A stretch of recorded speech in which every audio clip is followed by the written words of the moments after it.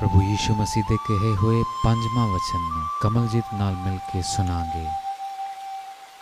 ਸਭ ਨੂੰ ਮੇਰੇ ਵੱਲੋਂ ਜੈ ਮਸੀਹ ਦੀ ਮੈਂ ਪਰਮੇਸ਼ਵਰ ਦਾ ਬਹੁਤ ਜ਼ਿਆਦਾ ਧੰਨਵਾਦ ਕਰਦੀ ਹਾਂ ਜੋ ਪ੍ਰਭੂ ਯਿਸੂ ਮਸੀਹ ਨੇ ਮੈਨੂੰ ਅੱਜ ਤੁਹਾਡੇ ਸਾਹਮਣੇ ਇਸ ਪੰਜਵੇਂ ਵਚਨ ਉੱਪਰ ਬੋਲਣ ਦਾ ਮੌਕਾ ਦਿੱਤਾ। ਜਿਵੇਂ ਕਿ ਅਸੀਂ ਜਾਣਦੇ ਹਾਂ ਕਿ ਇਸ ਦਿਨ ਸ਼ੁਭ ਸ਼ੁੱਕਰਵਾਰ ਵਾਲੇ ਦਿਨ ਆਪਾਂ ਪ੍ਰਭੂ ਯਿਸੂ ਮਸੀਹ ਦੁਆਰਾ ਉਸ ਸਲੀਬ ਉੱਪਰ ਕਹੇ ਹੋਏ ਸੱਤ ਵਚਨਾਂ ਦੇ ਉੱਪਰ ਆਪਾਂ ਕੀ ਗੱਲਾਂ ਨੂੰ ਸਿੱਖਦੇ ਹਾਂ। ਸੋ ਅੱਜ ਮੈਂ ਤੁਹਾਡੇ ਸਾਹਮਣੇ ਉਸ ਪੰਜਵੇਂ ਵਚਨ ਨੂੰ ਲੈ ਕੇ ਕੁਝ ਬੋਲਣਾ ਚਾਹੁੰਦੀ ਹਾਂ ਕਿ ਜੋ ਪ੍ਰਭੂ ਯਿਸੂ ਮਸੀਹ ਨੇ ਮੈਨੂੰ ਸਿਖਾਇਆ ਔਰ ਮੈਂ ਤੁਹਾਡੇ ਸਾਹਮਣੇ ਉਸ ਪੰਜਵੇਂ ਵਚਨ ਦੇ ਉੱਪਰ ਕੁਝ ਬੋਲ ਸਕਾਂ। ਜਿਵੇਂ ਕਿ ਅਸੀਂ ਜਾਣਦੇ ਹਾਂ ਜੋ ਅਸੀਂ ਹਰ ਸਾਲ ਪ੍ਰਭੂ ਯਿਸੂ ਮਸੀਹ ਦੁਆਰਾ ਕਹੇ ਉਹਨਾਂ ਸੱਤ ਵਚਨਾਂ ਦੇ ਵੱਲ ਧਿਆਨ ਦਿੰਦੇ ਹਾਂ। ਔਰ ਸੋ ਮੇਰਾ ਅੱਜ ਦਾ ਵਚਨ ਇਹ ਹੈ, ਯੂਹੰਨਾ ਦੀ ਇੰਜਿਲ 19 ਦਾ 28 ਵਚਨ। ਇਹਦੇ ਪਿੱਛੋਂ ਯੀਸ਼ੂ ਨੇ ਇਹ ਜਾਣ ਕੇ ਭਈ ਹੁਣ ਸਭੋ ਕੁਝ ਪੂਰਾ ਹੋ ਚੁੱਕਿਆ, ਲਿਖਤ ਦੇ ਸੰਪੂਰਨ ਹੋਣ ਲਈ ਆਖਿਆ, ਮੈਂ ਤੇ ਆਇਆ ਸੱਚਮੁੱਚ ਪ੍ਰਭੂ ਯਿਸੂ ਮਸੀਹ ਨੇ ਆਪਣੇ ਖਾਤਰ ਬਹੁਤ ਜ਼ਿਆਦਾ ਦੁੱਖ ਨੂੰ ਝੱਲਿਆ। ਪ੍ਰਭੂ ਯਿਸੂ ਮਸੀਹ ਇੱਕ ਇਨਸਾਨ ਦਾ ਰੂਪ ਧਾਰ ਕੇ ਇੱਕ ਮਰੀਮ ਦੇ ਕੁੱਖੋਂ ਜਨਮ ਲੈ ਕੇ ਆਪਣੇ ਇਨ- ਇਨਸਾਨ ਦੇ ਵਾਂਗ ਪ੍ਰਭੂ ਯਿਸੂ ਮਸੀਹ ਇਸ ਦੁਨੀਆ ਦੇ ਵਿੱਚ ਆਇਆ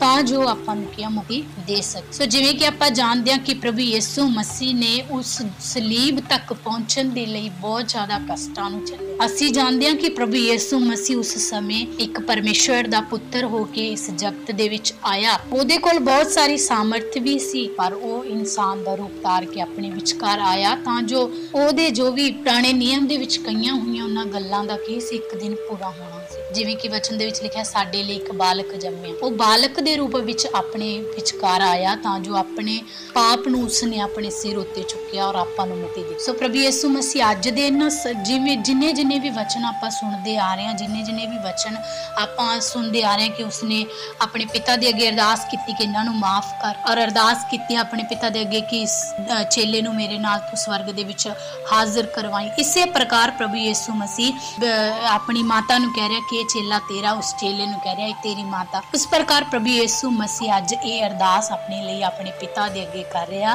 ਕਿ ਮੈਂ ਪਿਆਸਾ ਹਾਂ। ਪ੍ਰਭੂ ਯਿਸੂ ਮਸੀਹ ਨੂੰ ਦੋ ਤਰ੍ਹਾਂ ਦੀ ਪਿਆਸ ਸੀ ਇੱਕ ਸੀ ਸਰੀਰਕ ਪਿਆਸ, ਇੱਕ ਸੀ ਆਤਮਿਕ ਪਿਆਸ। ਪ੍ਰਭੂ ਯਿਸੂ ਮਸੀਹ ਵੀ ਇਨਸਾਨ ਦਾ ਰੂਪ ਧਾਰ ਕੇ ਉਸ ਸਰੀਰਕ ਪਿਆਸ ਨੂੰ ਦਰਸਾ ਰਿਹਾ ਔਰ ਇੱਕ ਪਿਤਾ ਦਾ ਉਹ ਮਹਾਨ ਪੁੱਤਰ ਹੋ ਕੇ ਇੱਕ ਪਵਿੱਤਰ ਆਤਮਾ ਦੇ ਨਾਲ ਭਰਪੂਰ ਹੋਇਆ, ਭਰਿਆ ਹੋਇਆ ਇਨਸਾਨ ਬਣ ਕੇ ਵੀ ਆਪਣੇ ਪਿਤਾ ਦੇ ਅੱਗੇ ਇੱਕ ਆਤਮਿਕ ਪਿਆਸ ਨੂੰ ਰੱਖ। ਸੋ ਅਸੀਂ ਹਰ ਸਾਲ ਇਹਨਾਂ ਵਚਨਾਂ ਦੇ ਉੱਪਰ ਸੁਣਦੇ ਹਾਂ। ਮੋਸਟਲੀ ਜ਼ਿਆਦਾਤਰ ਆਪਾਂ ਗੁੱਡ ਫਰਾਈਡੇ ਵਾਲੇ ਦਿਨ ਹੀ ਇਹਨਾਂ ਸੱਤ ਵਚਨਾਂ ਨੂੰ ਆਪਾਂ ਪ੍ਰਚਾਰ ਦੇ ਰਾਹੀਂ ਸੁਣਦੇ ਹਾਂ, ਕਿਉਂਕਿ ਇਹ ਦਿਨ ਪ੍ਰਭੂ ਯਿਸੂ ਮਸੀਹ ਦੇ ਉਸ ਜੋ ਮੁਕਤੀ ਪ੍ਰਭੂ ਯਿਸੂ ਮਸੀਹ ਨੇ ਆਪਾਂ ਨੂੰ ਦਿੱਤੀ, ਉਹ ਮੁਕਤੀ ਆਪਾਂ ਨੂੰ ਕਿਸੇ ਤੋਂ ਨਹੀਂ ਮਿਲੀ। ਸੋ ਪ੍ਰਭੂ ਯਿਸੂ ਮਸੀਹ, ਇਸ ਤਰ੍ਹਾਂ ਪ੍ਰਭੂ ਯਿਸੂ ਮਸੀਹ ਆਪਣੇ ਪਿਤਾ ਦੇ ਅੱਗੇ ਅਰਦਾਸ ਕਰਦਾ ਕਿ ਮੈਂ ਤਿਹਾਇਆ ਹਾਂ। ਪ੍ਰਭੂ ਯਿਸੂ ਮਸੀਹ ਐਡਾ ਮਹਾਨ ਹੈ, ਉਹ ਬਹੁਤ ਸਾਰੇ ਚਮਤਕਾਰ ਕਰ ਸਕਦਾ ਉਹ ਆਪਣੀ ਪਿਆਸ ਨੂੰ ਬੁਝਾ ਸਕਦਾ ਸੀ, ਪਰ ਜੋ ਲਿਖਿਆ ਸੀ ਕਿ ਉਹਨੇ ਸਾਡੀ ਖਾਤਰ ਜੋ ਦੁੱਖ ਝੱਲਣਾ ਸੀ, ਉਹ ਦੁੱਖ ਉਸਨੇ ਚੱਲਣਾ ਹੀ ਸੀ, ਉਹ ਪੱਕਾ ਸੀ। ਸੋ ਪ੍ਰਭੂ ਯਿਸੂ ਮਸੀਹ ਨੇ ਉਹ ਦੁੱਖ ਨੂੰ ਚੱਲਿਆ ਕਿ ਮੈਂ ਪਿਆਸਾ ਹਾਂ, ਤਾਂ ਪ੍ਰਭੂ ਯਿਸੂ ਮਸੀਹ ਜ਼ਰੂਰੀ ਨਹੀਂ ਕਿ ਉਸ ਨੂੰ ਸਰੀਰਕ ਪਿਆਸ ਸਰੀਰਕ ਪਿਆਸ ਸੀ, ਕਿਉਂਕਿ ਉਸ ਦਿਨ ਬਹੁਤ ਜ਼ਿਆਦਾ ਅੱਤ ਦੀ ਗਰਮੀ ਸੀ। ਉਸ ਦਿਨ ਪ੍ਰਭੂ ਯਿਸੂ ਮਸੀਹ ਨੇ ਬਹੁਤ ਜ਼ਿਆਦਾ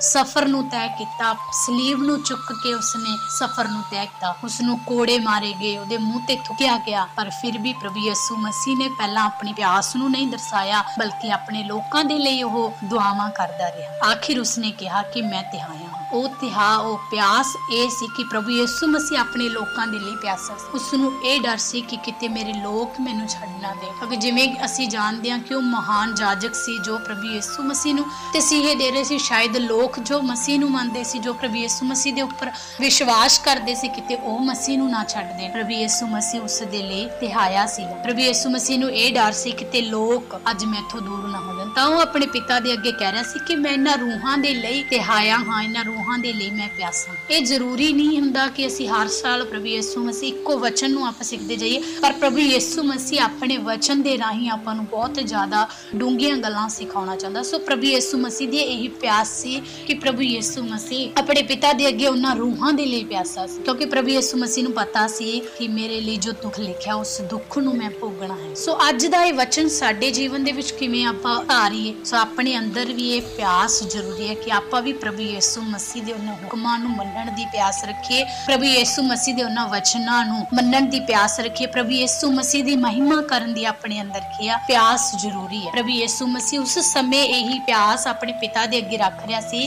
ਕਿ ਮੈਂ ਇਸ ਦੁੱਖ ਚੱਲਣ ਦੇ ਲਈ ਕੀਆ ਪਿਆਸਾ ਸੀ। ਮੈਂ ਉਸ ਦੁੱਖ ਚੱਲਣ ਦੇ ਲਈ ਮੈਂ ਤੇਰੇ ਅੱਗੇ ਕੀਆ ਆਪਣੀ ਪਿਆਸ ਨੂੰ ਦਰਸਾ ਰਿਹਾ। ਸੋ ਮੈਂ ਆਪਣੇ ਲੋਕਾਂ ਦੇ ਲਈ ਹੀ ਅਰਦਾਸ ਕਰਦਾ ਕਿ ਪਿਤਾ, ਜੋ ਇਹ ਰੂਹਾਂ ਨੇ, ਇਹਨਾਂ ਦੇ ਲਈ ਮੈਂ ਪਿਆਸਾ ਹਾਂ ਕਿਤੇ ਰੂਹਾਂ ਮੈਨੂੰ ਛੱਡ ਨਾ ਦੇ। ਸੋ ਆਪਾਂ ਨੂੰ ਚਾਹੀਦਾ ਕਿ ਆਪਾਂ ਵੀ ਉਸ ਪਰਮੇਸ਼ਰ ਪਿਤਾ ਦੀ ਉਸ ਮਰਜ਼ੀ ਨੂੰ ਪੂਰਾ ਕਰਨ ਦੇ ਲਈ, ਆਪਾਂ ਉਸ ਮਰਜ਼ੀ ਨੂੰ ਪੂਰਾ ਕਰਨ ਦੇ ਲਈ ਆਪਣਾ ਜੀ, ਆਪਣਾ ਮਨ ਤਰਸਣਾ ਬਹੁਤ ਜ਼ਰੂਰੀ ਹੈ। ਜਿਵੇਂ ਕਿ ਇੱਕ ਵਚਨ ਦੇ ਵਿੱਚ ਲਿਖਿਆ ਜ਼ਬੂਰਾਂ ਦੀ ਪੋਥੀ, ਅਧਿਆਏ 42 ਦਾ ਇੱਕ ਤੇ ਦੋ ਵਚਨ, ਜਿਵੇਂ ਹਿਰਨੀ ਪਾਣੀ ਦੀਆਂ ਨਦੀਆਂ ਦੇ ਲਈ ਤਰਸਦੀ ਹੈ, ਤਿਵੇਂ ਹੀ ਮੇਰਾ ਜੀ ਹੈ ਪਰਮੇਸ਼ਰ ਤੇਰੇ ਲਈ ਤਰਸਦਾ ਹੈ। ਮੇਰਾ ਜੀ ਪਰਮੇਸ਼ਰ ਦੇ ਲਈ, ਜਿਉਂਦੇ ਪਰਮੇਸ਼ਰ ਦੇ ਲਈ ਧਿਆਇਆ ਹੈ। ਮੈਂ ਕਦੋਂ ਜਾਵਾਂ ਅਤੇ ਪਰਮੇਸ਼ਰ ਦੇ ਸਨਮੁਖ ਹਾਜ਼ਰ ਹੋਵਾਂ। ਸੋ ਆਪਣਾ ਮਨ ਵੀ ਉਸ ਪ੍ਰਭੂ ਯਿਸੂ ਮਸੀਹ ਦੇ ਅੱਗੇ ਤਰਸਣਾ ਬਹੁਤ ਜ਼ਰੂਰੀ ਹੈ। ਜਿਸ ਤਰ੍ਹਾਂ ਉਹ ਆਪਣੇ ਪਿਤਾ ਦੀ ਹਜ਼ੂਰੀ ਦੇ ਲਈ ਤਰਸਦਾ ਸੀ, ਪ੍ਰਭੂ ਯਿਸੂ ਮਸੀਹ ਆਪਣੇ ਪਿਤਾ ਦੇ ਲਈ ਤਰਸਦਾ ਸੀ ਕਿ ਮੈਂ ਕਦੋਂ ਆਪਣੇ ਪਿਤਾ ਦੇ ਸਵਰਗ ਰਾਜ ਦੇ ਵਿੱਚ ਜਾਵਾਂ, ਕਿ ਮੈਂ ਕਦੋਂ ਅਤੇ ਪਰਮੇਸ਼ਰ ਦੇ ਸਨਮੁਖ ਹਾਜ਼ਰ ਹੋਵਾਂ। ਸੋ ਆਪਣੇ ਅੰਦਰ ਵੀ ਇਹ ਪਿਆਸ ਹੋਣੀ ਬਹੁਤ ਜ਼ਰੂਰੀ ਹੈ ਕਿ ਆਪਾਂ ਵੀ ਉਸ ਪਰਮੇਸ਼ਵਰ ਦੇ ਉਸ ਸਵਰਗ ਰਾਜ ਤੱਕ ਪਹੁੰਚਣ ਦੇ ਲਈ ਆਪਾਂ ਆਪਣੇ ਅੰਦਰ ਉਸ ਪਿਆਸ ਨੂੰ ਜਗਾਈਏ। ਆਪਣੇ ਅੰਦਰ ਇਹ ਪਿਆਸ ਜ਼ਰੂਰੀ ਹੈ ਕਿ ਆਪਾਂ ਉਸ ਪਰਮੇਸ਼ਵਰ ਦੇ ਅੱਗੇ ਆਪਣੀ ਉਸ ਪਿਆਸ ਦਾ ਕੀ ਹੈ ਆਪਣੇ ਅੰਦਰ ਜ਼ਿਕਰ ਕਰੀਏ, ਉਸ ਪਿਆਸ ਨੂੰ ਆਪਣੇ ਅੰਦਰ ਲੈ ਕੇ ਆਈਏ ਕਿ ਆਪਾਂ ਪ੍ਰਭੂ ਯਿਸੂ ਮਸੀਹ ਦੀ ਸੇਵਾ ਦੇ ਲਈ ਪਿਆਸੇ ਹੋਈਏ, ਆਪਾਂ ਪ੍ਰਭੂ ਯਿਸੂ ਮਸੀਹ ਦੀ ਮਹਿਮਾ ਦੇ ਲਈ ਪਿਆਸੇ ਹੋਈਏ, ਆਪਾਂ ਪ੍ਰਭੂ ਯਿਸੂ ਮਸੀਹ ਦੀ ਉਸ ਵਡਿਆਈ ਦੇ ਲਈ ਆਪਾਂ ਪਿਆਸੇ ਹੋਈਏ, ਤਾਂ ਜੋ ਪ੍ਰਭੂ ਯਿਸੂ ਮਸੀਹ ਉਸ ਸਮੇਂ ਆਪਾਂ ਨੂੰ ਵੀ ਸਵਰਗ ਰਾਜ ਦੇ, ਉਸ ਹਜ਼ੂਰੀ ਦੇ ਵਿੱਚ ਆਪਾਂ ਨੂੰ ਕੀ ਹੈ ਲੈ ਕੇ ਜਾਵੇ। ਸੋ ਇਹ ਸੀ ਪ੍ਰਭੂ ਯਿਸੂ ਮਸੀਹ ਦੀ ਉਸ ਸਮੇਂ ਆਤਮਿਕ ਪਿਆਸ ਜੋ ਆਪਣੇ ਲੋਕਾਂ ਦੇ ਲਈ ਪਿਆਸ ਨੂੰ ਰੱਖ ਰਿਹਾ ਪ੍ਰਭੂ ਯਿਸੂ ਮਸੀਹ ਲਈ ਕੁਝ ਵੀ ਚੀਜ਼ਾਂ ਨੂੰ ਹੋਣਾ ਨਹੀਂ ਸੀ। ਪਰ ਜੋ ਲਿਖਤਾਂ ਪਰਮੇਸ਼ਵਰ ਦੁਆਰਾ ਉਹਨਾਂ ਦੇ ਦਾਸਾਂ ਦੇ ਰਾਹੀਂ ਜੋ ਬੋਲੀਆਂ ਗਈਆਂ, ਉਹ ਲਿਖਾਂ ਦਾ ਪੂਰਾ ਹੋਣਾ ਜ਼ਰੂਰੀ ਸੋ। ਅੱਜ ਦਾ ਮੇਰਾ ਹੀ ਵਚਨ ਤੁਹਾਡੇ ਅੱਗੇ ਹੈ ਕਿ ਆਪਣੇ ਅੰਦਰ ਆਪਾਂ ਉਸ ਪਰਮੇਸ਼ਵਰ ਦੇ ਲਈ, ਉਸ ਪਿਤਾ ਦੇ ਅੱਗੇ ਆਪਾਂ ਕੀ ਆਪਣੀ ਪਿਆਸ ਨੂੰ ਰੱਖੀਏ, ਆਪਣਾ ਮਨ ਉਸ ਪਰਮੇਸ਼ਵਰ ਦੇ ਲਈ ਆਪਾਂ ਪਿਆਸਾ ਰੱਖੀਏ, ਤਾਂ ਜੋ ਇੱਕ ਦਿਨ ਆਪਾਂ ਪਰਮੇਸ਼ਵਰ ਦੇ ਸਨਮੁਖ ਹਾਜ਼ਰ ਹੋ ਪ੍ਰਭੂ ਯਿਸੂ ਮਸੀਹ ਇਸ ਵਚਨ ਦੇ ਦੁਆਰਾ ਸਾਨੂੰ ਆਸ਼ੀਸ਼ ਦੇਵੇ। ਆਪਾਂ ਕੁਝ ਸਮਾਂ ਉਸ ਪਰਮੇਸ਼ਵਰ ਦੇ ਅੱਗੇ ਅਰਦਾਸ ਕਰਾਂਗੇ ਕਿ ਆਪਣਾ ਦਿਲ ਪਰਮੇਸ਼ਵਰ ਦੇ ਅੱਗੇ ਪਿਆਸਾ। ਆਸਮਾਨੀ ਖੁਦਾ ਬਾਪ, ਅਸੀਂ ਤੁਹਾਡਾ ਧੰਨਵਾਦ ਕਰਦੇ ਹਾਂ ਔਰ ਪ੍ਰਭੂ ਜੀ, ਇਸ ਵਚਨ ਦੇ ਅਨੁਸਾਰ ਪ੍ਰਭੂ ਜੋ ਸਾਨੂੰ ਚਾਹੀਦਾ ਕਿ ਅਸੀਂ ਪ੍ਰਭੂ ਜੀ ਤੁਹਾਡੇ ਵਰਗਾ ਪ੍ਰਭੂ ਉਹਨਾਂ ਗੱਲਾਂ ਦੇ ਵਿੱਚ ਆਪਣਾ ਪਿਆਸ ਵਧਾਈਏ ਤਾਂ ਕਿ ਪ੍ਰਭੂ ਜੀ ਉਸ ਅੰਮ੍ਰਿਤ ਜਲ ਤੋਂ ਅਸੀਂ ਪ੍ਰਭੂ ਪੀਏ ਔਰ ਸਦਾ